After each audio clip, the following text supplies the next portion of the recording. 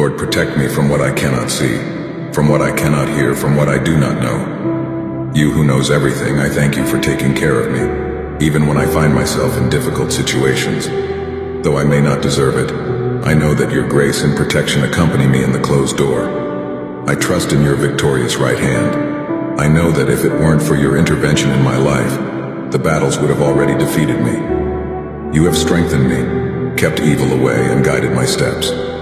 To those who wish me harm, may your protection be with me both day and night. May my morning belong to you, and may my days be filled with peace and light, for my life is secure in your hands.